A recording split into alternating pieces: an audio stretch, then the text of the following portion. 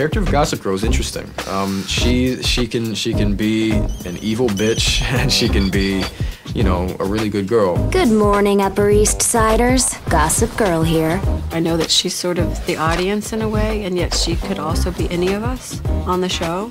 Your one and only source of Manhattan's elite. My take on it was always that, you know, she's um, some anonymous girl that we never actually see. It. It could be anyone, you know, and I think that's the beauty of it. Who is that behind the blog? You know, who's who's watching and who's getting all the all the details?